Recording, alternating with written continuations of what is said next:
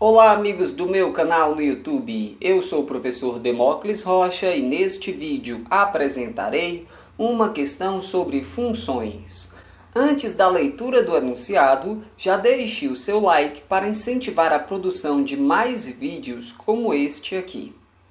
Vamos fazer a leitura. Quarta questão.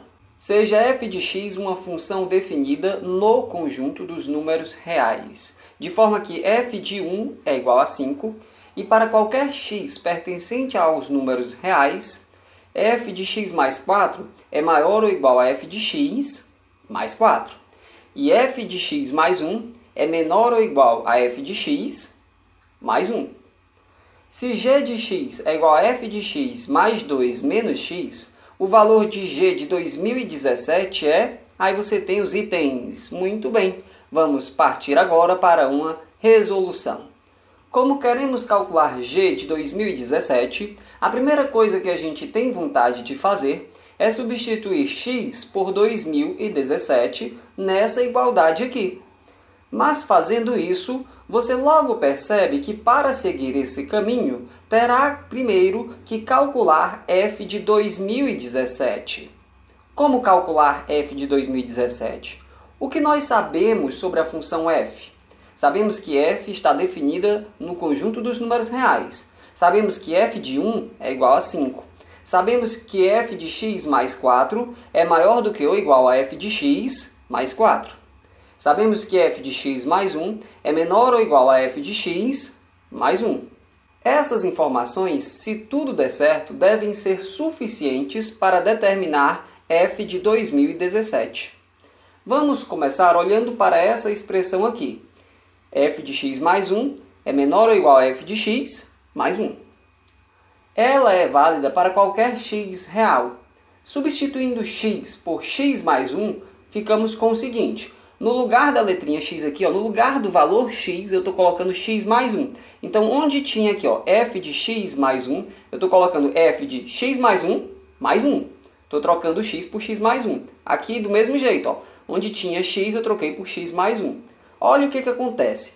Aqui dentro a gente fica com x mais 2, tá certo? Então, temos f de x mais 2 menor ou igual a f de x mais 1 mais 1.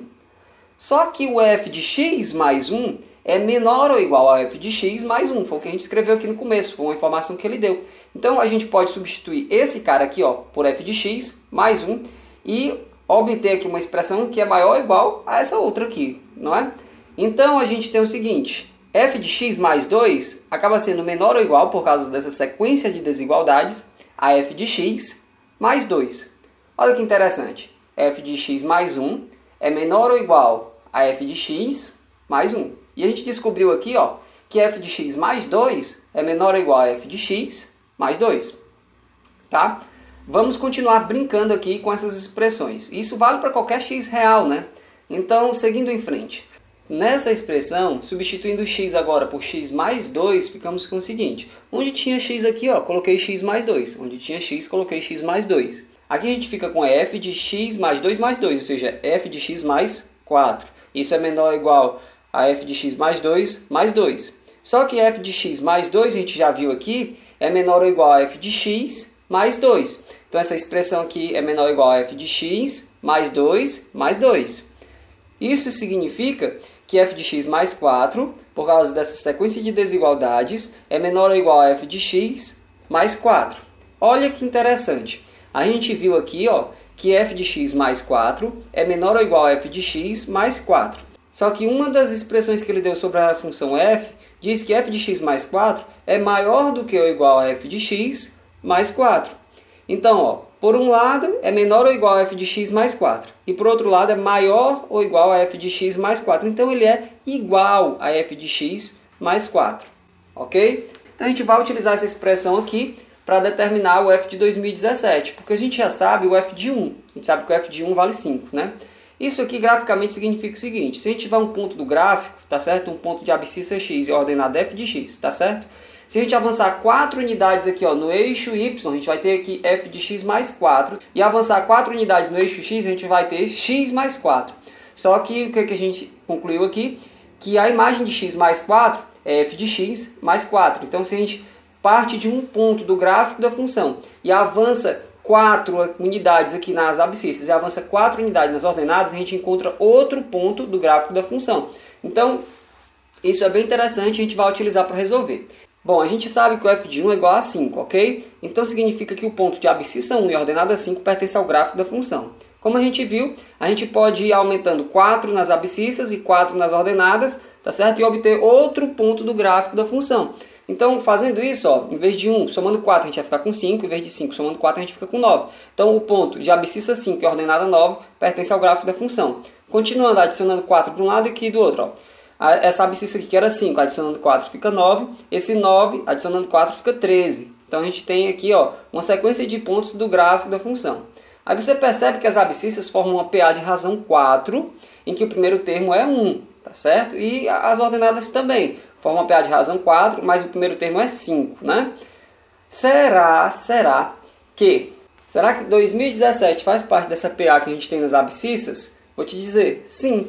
2017 está nessa PA, porque 2017 é 1 mais 504 vezes 4. Certo? Basta você dividir 2017 por 4 e observar o resto. Então 2017 é igual a 1 mais 504 vezes 4. Então ele está na PA sim. Perceba que a ordenada associada a cada x nessa sequência de pontos é justamente o próximo termo da PA. Então o ponto é, que tem a abscissa 2017, a ordenada dele vai ser 2021 porque é sempre 4 a mais. Então, o que, que a gente tem aqui? Por exemplo, ó, aqui tu tinha 1, a ordenada era 5, 4 a mais. Aqui tu tinha 5, a ordenada era 9, 4 a mais. Aqui tu tinha 9, a ordenada era 13, 4 a mais. Porque aqui você tem duas PAs, uma PA nas abscissas e uma PA nas ordenadas. A diferença é que o primeiro termo aqui da PA que tu tem nas ordenadas é o segundo termo da PA que tu tem nas abscissas. Você vai sempre somando 4. Então isso significa que o F de 2017 é 2021.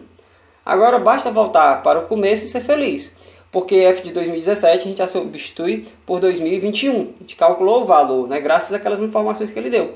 E aí, fazendo essas continhas, você calcula o G de 2017, que dá 6. Então o item correto é o item B. Se você gostou do vídeo, clique em gostei, se esse vídeo te ajudou. Deixe um comentário sobre o nível de dificuldade da questão. Você considera essa questão no contexto do IME fácil, média ou difícil? Diga aí. A gente fica por aqui. Um abraço e até a próxima. Tchau!